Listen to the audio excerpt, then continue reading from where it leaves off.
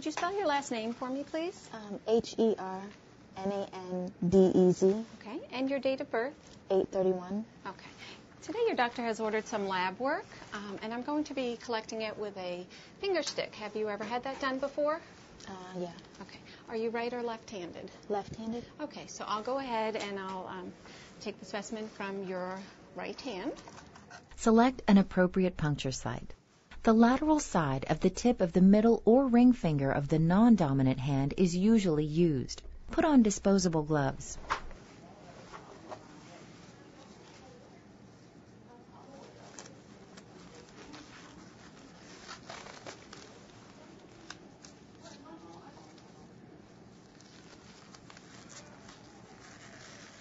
A plastic capillary tube or a plastic coated glass tube with heparin is used to collect blood from a finger stick for a microhematocrit test.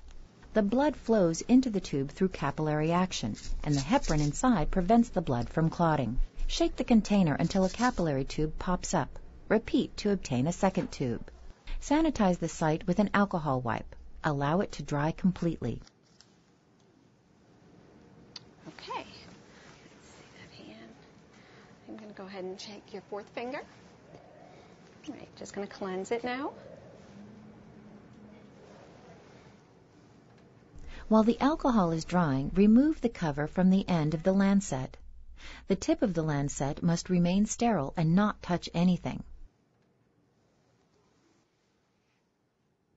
Hold the lancet in your dominant hand and the patient's finger in your non-dominant hand. Press the lancet against the finger to trigger the lancet to incise the finger and retract.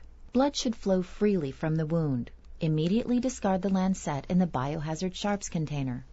Always wipe away the first drop of blood with a gauze square because the blood can contain tissue fluids that dilute the blood and alter test results. Okay, these are just capillary tubes. Touch the tip of the capillary tube to the drop of blood.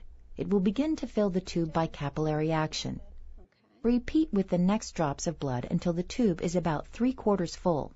Fill the second capillary tube the same way. If blood flow stops, it may be helpful to massage the finger or lower the hand below the elbow.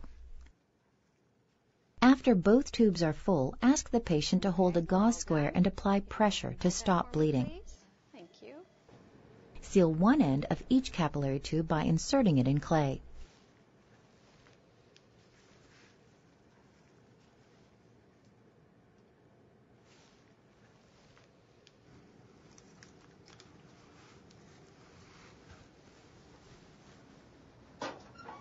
Discard the gauze square in a biohazard waste container. Okay.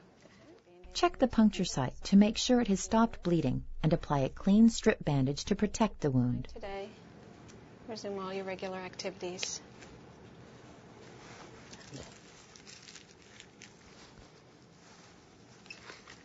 Remove and dispose of the gloves and sanitize your hands.